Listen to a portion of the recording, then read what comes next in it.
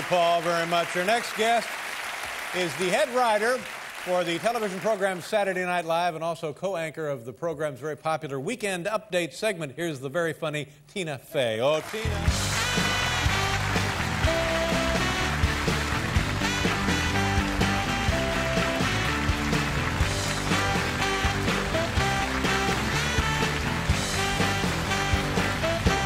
Welcome to the show. Thank you. Thank you for having me. Pleasure, pleasure to meet you. You've, you've been the head writer of that show for how long? Uh, uh, about two and a half years. now. Good for you. Have they ever had a, a woman head writer? No, they haven't. This is I'm the first, but they haven't had that many head writers Right. overall. And it's, it's going very well, isn't oh, it? th- thanks. Yeah. You, you started out, uh, I think, as many other people did, and correct me if any of this is not accurate, uh, working in a place in Chicago called Second City, is that Yeah, right? I worked at the Second City in Chicago, which is a comedy improv theater there. Right. And a lot of people, like John Belushi and Gilda Radner, a lot of people, Yeah. Mike Myers, started there. And, and there, there must be something about both experiences that uh, has a commonality that makes it work uh, either way. Yes, it's, it's the only it's a sketch comedy theater, so it's very similar to uh, to what we do at SNL. Right. So the big this is the main difference is that at Second City um, they serve booze Mm-hmm. to the audience. So, so you know at SNL we never we don't never have a bachelorette party going on in the audience at SNL. We had one lady one time uh, in the middle of the show, uh, like a Friday night show, just stand up and. I have had it. She was just loaded, and she's like, "This is stupid." And she's walked onto the stage during a sketch. She's like, "I don't want to see this anymore." and, uh, and so I tried to escort her sort of backstage. I'm like, "Oh, we'll just you know." And she got off into the wing, and there's a little set of stairs back there, and she fell down the stairs. Oh, my. God. And she was fine, but it made a lot of noise, and it looked like I bounced her. Sounded like a That's awful. Yeah. And that woman was Farrah Fawcett, ladies and gentlemen. It's hard to believe, but it actually. No, it's. I, I just met Farrah Fawcett. Uh, but it's, it's one of those, it's, it's great experience because uh, you're really sort of uh, out on a limb and no net, that kind of thing. Right. And, and, it is improv in the sense of what, what happens when you do it. Well, at Second City, y- you really are improvising where you take an audience suggestion and you're really just making it up together with the other people on stage. Right. Uh, a lot of people think that SNL is improvised, but it's, it's not because you have camera shots. You can't Right. really Yeah. change. And, and do they get, uh, like, uh, you mentioned wedding parties and stuff, do they actually get that kind of thing at the, at the Yeah, we get City? bachelorette parties. Right. And, and like high school uh, Oh yeah, we get proms um, and stuff? We used to do after proms shows, which was torture. You do a show at two in the morning for a bunch of kids who came from their prom. They're basically brought there to prevent them from having sex. they do not want to be there, and they would say to us, you know, this is a young audience, so this is a no swearing show. And uh, I remember a buddy of mine in the company, he didn't like. He did not like that he wasn't allowed to swear in the show. He felt censored by it. And so he went out to the kids and said, You know, I can't say the F word tonight, but that doesn't mean that you can't. And he tried to get the kids to start chanting the. He got. Yeah. Not right. He got fired. He was let go. He was let go. You're, uh, is it safe to say you're a, a newlywed? Is that a I am. play? I got married in June. Thank you. What kind of guy?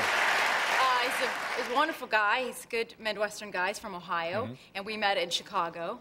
And uh, he's a theater director. And he's a, he's a real good guy. Mm-hmm. And you both you have a place here? In, in Yeah, so we both live here now. We, we moved actually over the summer um, because I was the place we had was really tiny, our old place, and it also had kind of a rat problem. Mm, ah. So When you say kind of a rat problem, I mean occasionally you might was- see a rat. what happened? They started doing construction in the neighborhood. It's a beautiful neighborhood, but they started doing construction, and then the rats came out of everywhere. Mm-hmm. And he, for his hobby, he would sit at night with his coffee at the window, and he'd be like, "Hey." hey how many? Guess how many rats I can see right now? I how many? He'd say, I, I can see eight of them right now with my naked eye.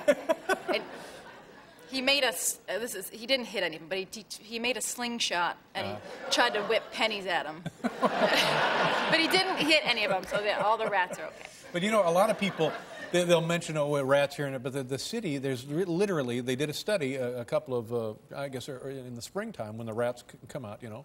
They're And, uh, and there, there's really, there's like, uh, uh, like something like 30 million rats in the city. Yeah, there's more rats than people. Yeah, right? yeah I My mean, we are yeah. ankle deep in rats. Yeah. My friend Colin Quinn, who I know from Saturday Night Live, he, uh, the first time I ever met him and ever talked to him, he- I walked in the room and he was talking about rats. And Mm-hmm. he's like, "Let me tell you something about rats. They can chew through steel. they can swim. They can fit through a hole the size of a quarter. Right. And any rat can jump as high as your face." Ooh, man. All you need to know.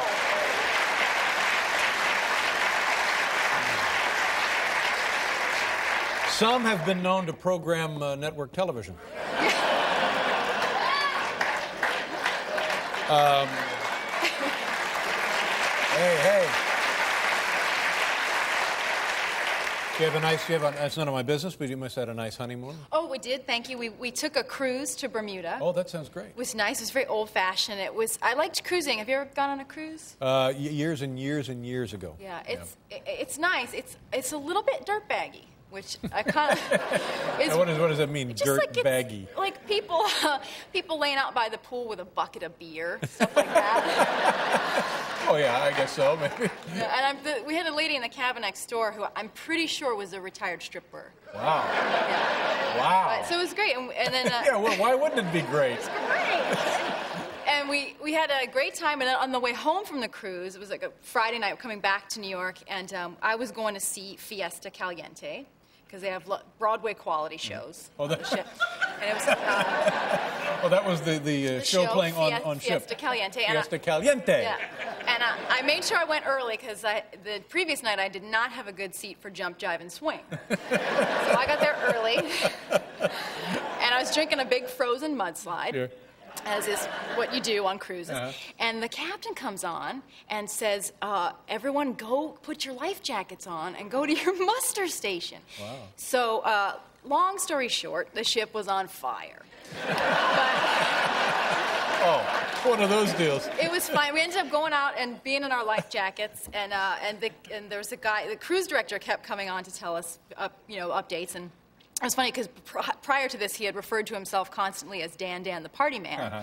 which he uh, Not so he much dropped. of a party guy now. He dropped yeah, that yeah. not While he's helping you into the lifeboats. Yeah. And then uh, they came on and they said, you know, everything's fine, and we were all relieved. And uh, So I have a story for you. I your have a story. Last I get a free cruise. We got a coupon for a Oh, free that's cruise. great. Great. Yeah. Good for you. Nice to meet you. Nice to meet Thank you. Thank you for everything. Thank you. Tina Fey, ladies and gentlemen. We'll be right back with garbage.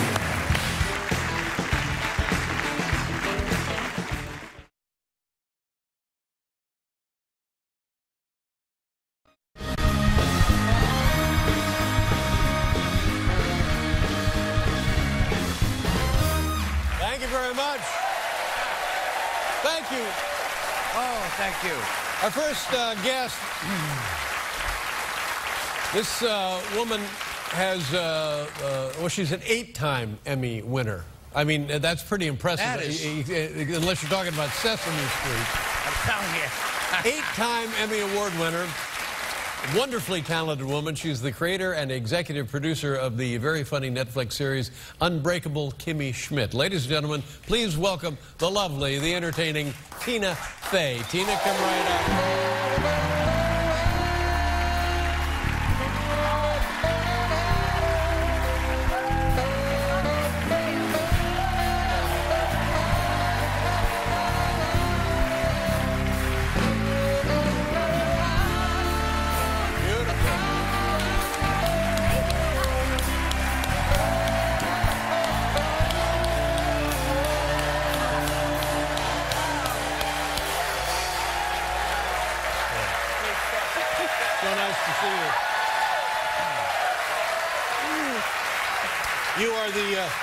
Personification of what show business is supposed to be. You're, you're, you're talented, uh, you're smart, you're uh, lovely, you're personable, and you're eager to perform. Thank you so much. You're quite welcome. That's very kind of you to say. I, I, uh. Well, thank you. What do you? Uh, people have been uh, bombarding me with this question. It's driving me nuts. When you, you don't have a regular job, Mm-hmm. Yeah. then what is your life? I'm, I'm looking at it like it's just a, a chasm, a- Yeah. an, an empty, empty chasm. Well, I was thinking about you this week because I was thinking you- you're going to retire, and I've had this in miniature form. I, I did a show, we did 30 Rock, and the show ended, and I had the experience of, of stopping. Um, and it's weird at first. The one thing I will warn you about is that all the things that you got out of doing because you were working all the time. are going to come haunt you now. Oh, no. So like, uh, like parent-teacher uh, conferences, uh, curriculum night, Mm. um, uh, going to your niece's wedding, all that stuff. You're going to do that. Now, like, did you you? You know, if you get anything in the mail that says like, "Will you host a gala?" Oh, no. Just drink dish soap. Just do. Do if you get Right anything that says gala on it, drink like contact lens fluid, anything to get yourself in the hospital. New. York City seems to be the home of the gala. Yeah. Uh, official or unofficial, big Yes. or little, there's a gala. Every night. And I, and I was thinking about it, uh, the, the big metropolitan uh, Yeah. gala. You're gonna have to and, go to and that I was next thinking, year. I've never been invited You're to that going next thing. year. Now, have I missed anything? No, next year you're going. You're gonna put a salad, big old like salad bowl on your head, and you're You gonna gotta go. You've been there, you I, know what it is. I did. I didn't go this year. I have gone to it once, and it is such a jerk parade. Like you cannot even.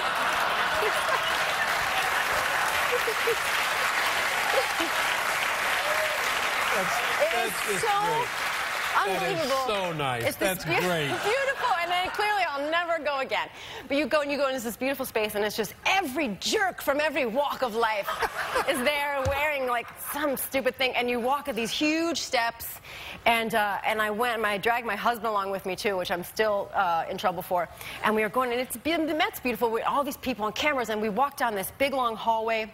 And we were walking about 10 feet behind this very famous, famously mean fashion designer. And I was like, my husband, I'm like, oh, that's, you know, that guy. And, whatever. and, uh, and they had these, what I thought were sort of guards lining the hallway because they were in these uniforms. And if you look carefully, they weren't guards. They were just sort of beautiful boys in weird outfits. I was like, okay. And then, so we're walking behind this, like, famous guy in this empty hallway going to the thing. And uh, then I realized that we were about 10 feet behind him, and we just walked into just a fart cloud. Just um, this this famous man. just the most toxic, toxic gas that you could. But I was like, oh, this is this is the insides of a terrible person coming out. And we walked into that, and I sort of got the giggles, and then I looked over at the the guard boys, and they were kind of like giggling in their sort of vaguely fascist uniforms, and and this. And then we- Vaguely fascist. Vaguely fascist. And then we sat down at this long table, and it's, it's just everybody. It's everybody. If you had a million arms, and all the people you would punch in the whole world, they're all there. And um, Names, any names I couldn't possibly. mind? They're wonderful people. I mean, I was there. Clearly, I was one of them. But there was, I was then. So I sit down, and then I'm sitting next to like another famous guy who's like a CEO guy. Just to be clear, not Donald Trump, because he's the most famous here. Although he was there, and he was kind of like dancing in his seat. Um, oh, dancing so- in the seat. Yikes. but look at this famous CEO guy's talking to me, and I think perhaps he was on ecstasy because he, I didn't know him, and he just reached over and started touching my hair. And I was like, this is like famous, like a businessman. Like, what is this gig? Like, what is this? So I got up and I was like, I'm just going to walk around and do a lap and try to see if I know anybody at this thing. And and I walked around, and it was really, it is like Beyonce, Lady Gaga, Brian Williams. It's just like every person in the world. And uh, the person that I saw that I was like, there, uh, you know what, there's somebody cool that like I can just sit in the corner and relax with. There's somebody normal. And just to give you an idea of how weird that event is, like the person that I saw, like, ah, I'll go talk to her, was Barbara Walters. That's pretty And I just tried to like hang out with Barbara Walters. I'm not going. I'm not going. You're going next year. You're No, going to no, wear a going. red leather how- dress. uh, earlier on in the discussion, you described it as what kind of a parade? Jerk parade. It's a jerk parade. we'll get that right up to the Met. I'm sure they'll be happy to hear that. It's a jerk parade. Uh, we'll be right back with the lovely Tina Fey, everyone.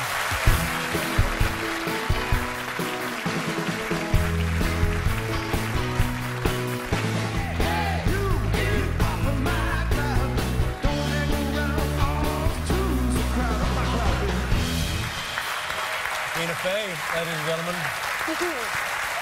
Um, um, um, um, um.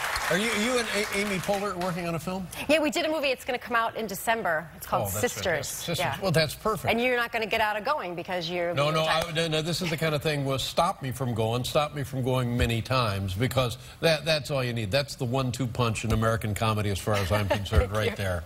Uh, and, and, yeah, but you know what was, what was a big, big deal, uh, and, and I, I hope people understand how big a deal this was, was the SNL uh, 40th anniversary. Oh yeah, we had the, the 40th anniversary of SNL. it? It was a big deal. Television, yeah. Yeah. And the people who have, have worked there, yourself and many, many others. Everybody who ever hosted, uh, you know, ev- uh, pretty much almost every cast member, I think, made it back. And I was, uh, I wanted to, I worked on the SNL 25th anniversary. I think it was one of the first things I was head writer for. And so I really wanted to help out again with the 40th, but I was away. Uh, I was doing a movie in Albuquerque. Um, and so, or so they believed. Uh, but um, I was. Um, and, and I was really wishing I could be there to help, and I kept getting these calls. I was trying to help, and they're like, great news, the show was going to be three hours. Now it's going to be three and a half hours Oh, long. I said, oh my God, I was Yeah. getting so nervous because it was a show that everyone rehearsed their stuff separately. It was never rehearsed together. And it's live. And it's live TV. And, um, and I just, and also I thought, well, the, and the whole audience is movie stars. And I just thought, well, movie stars, they're not going to sit still that long. I kept, I was like, they're going to leave. They're going to go to dinner. They're like, there's really selfish people, and they're going to cut to the audience, doing sketches, and they'll cut to the audience. It'll just be like chairs and a lost purse.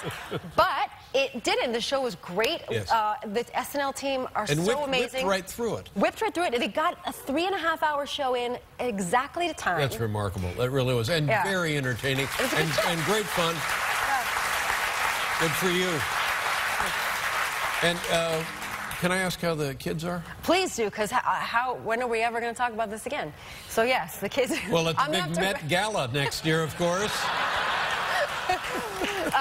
The kids are good. They, um, the little one is three and a half now, and she's maybe coming out of not being a jerk all the time. Like she's. Oh, I remember you said that there was some sort of uh, reflexive anger. Yeah, she's very quick to anger. Like you ask her anything, and her answer is usually is no, never. And you're like, okay, that's like that's like your baseline is no, never. No, never, yeah. Um, she did throw a pretty amazing tantrum in. We we were in Albuquerque. They were visiting me.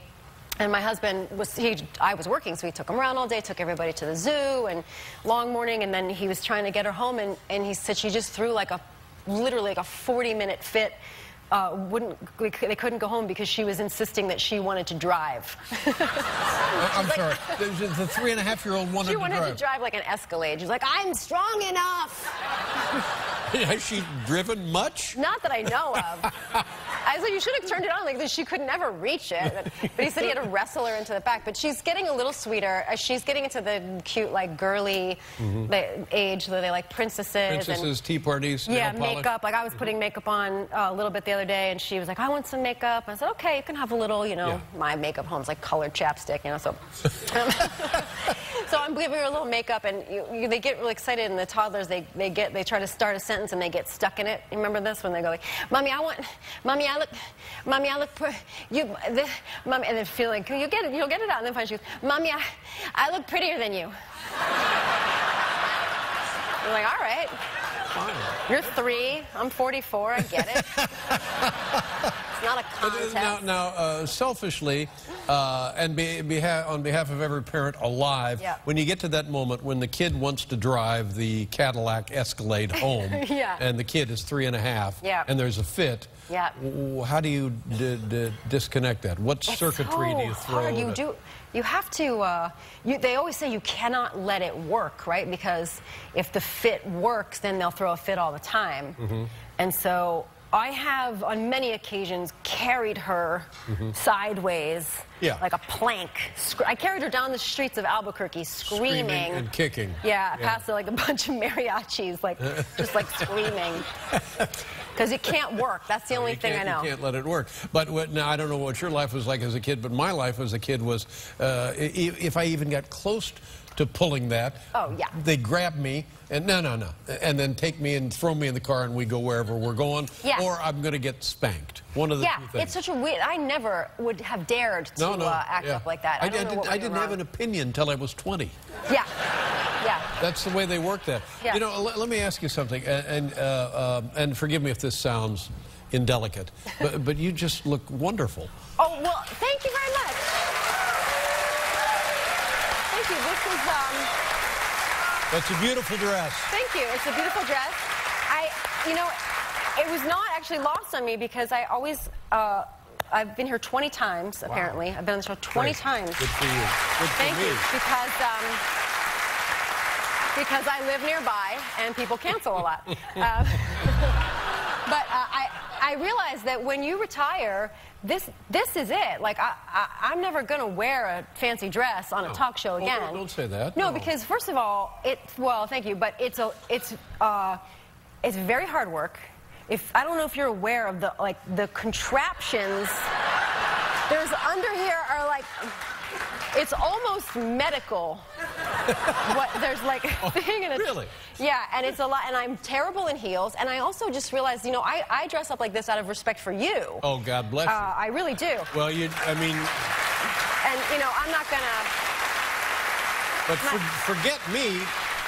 I mean, it's this- just lovely. Just this- for- this is blue- it, you know, 'cause- this is like oh, something Kate you. Middleton would Well, show thank up you. in. And this is it because I'm not gonna wear. You know, what am I gonna put a dress on for Jimmy? That's creepy. He's like my brother. You know what? I'm gonna wear like like special underwear for James Corden. That's not gonna happen. so you know, the next time you see me, I will be playing charades in a slanket. But because this. Well, now, wait a minute. You mentioned is- special underwear. This is what, yeah What, because because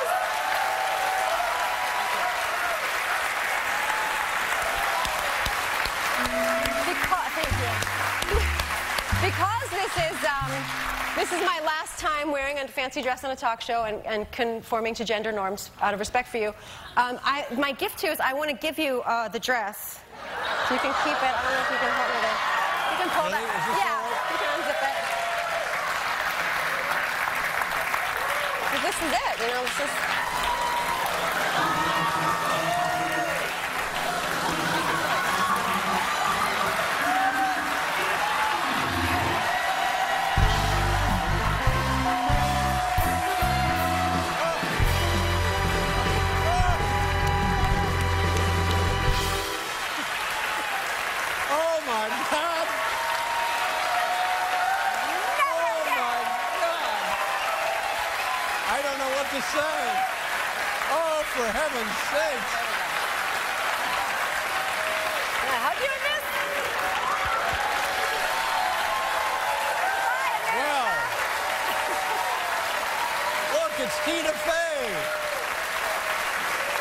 Hold it.